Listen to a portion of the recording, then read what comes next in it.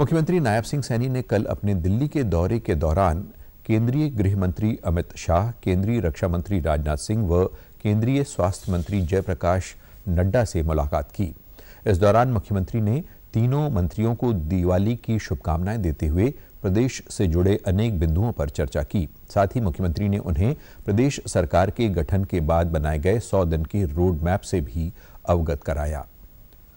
फ़सल अवशेष में आगजनी व प्रबंधन की घटनाओं को लेकर केंद्रीय कृषि मंत्री शिवराज सिंह चौहान की अध्यक्षता में चार राज्यों, हरियाणा, पंजाब, उत्तर प्रदेश व दिल्ली के कृषि मंत्रियों के साथ वीडियो कॉन्फ्रेंसिंग के माध्यम से बैठक हुई। हरियाणा के कृषि मंत्री श्याम सिंह राणा ने रोहतक से इस बैठक में भाग लिया। इस दौरान राज्यों में पिछले वर्ष व वर्तमान वर्ष की फ़सल अवशेष में आगजनी की घटनाओं के बारे में विचार विमर्श किया गया। केंद्रीय मंत्री शिवराज सिंह चौहान ने कहा कि हरियाणा और पंजाब में पराली जलाने की घटनाओं में काफ़ी कमी आई है। में पंजाब में 35 प्रतिशत कमी आई है, हरियाणा में 21 प्रतिशत कमी आई है। 2017 के मुकाबले पराली जलाने की घटनाओं में भी इक्यावन प्रतिशत से ज़्यादा कमी आई है। अभी लगातार ध्यान देने की ज़रूरत है। तो एक तो व्यापक पैमाने पर जन जागरण अभी अभियान चल रहा है, उसको और प्रभावी ढंग से हम कैसे चलाएँ, मिलके केंद्र और राज्य।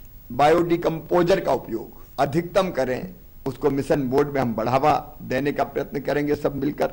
आसपास के उद्योगों की मांग के आधार पर मैपिंग के माध्यम से पराली के एक्स सीटू उपयोग को बढ़ावा देने की बात हुई है और मिलकर हम सम्मिलित प्रयास करेंगे।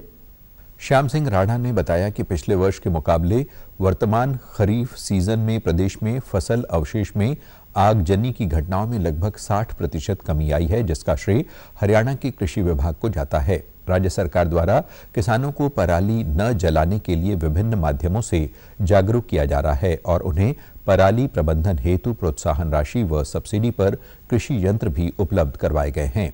उन्होंने बताया कि यदि प्रदेश के किसान पराली को न जलाकर उसका प्रबंधन खेत व खेत से बाहर करते हैं तो मिट्टी की उपजाऊ शक्ति बढ़ती है तथा मिट्टी में ऑर्गेनिक तत्वों की मात्रा भी बढ़ती है। उन्होंने बताया कि वे भी एक किसान हैं और उन्होंने अपने खेत में पराली को कृषि यंत्रों के माध्यम से मिट्टी में मिलाकर उसका प्रबंधन किया है। कृषि मंत्री ने कहा कि हरियाणा सरकार पराली जलाने की घटनाओं के बारे में सतर्क है व राज्य ने ग्राम, खंड व जिला स्तरीय टीमों के माध्यम से पूर्ण निगरानी रखे हुए है।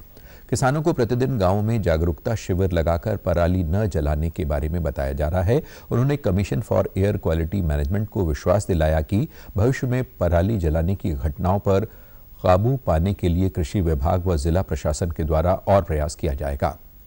यदि कोई किसान जाने अनजाने में पराली में आग लगाता है तो कमीशन द्वारा जारी किए गए दिशा निर्देश के अनुसार उन पर जुर्माना लगाने, एफआईआर दर्ज करवाने व मेरी फ़सल मेरा ब्यौरा में रेड एंट्री करने की प्रक्रिया अमल में लाई जाएगी।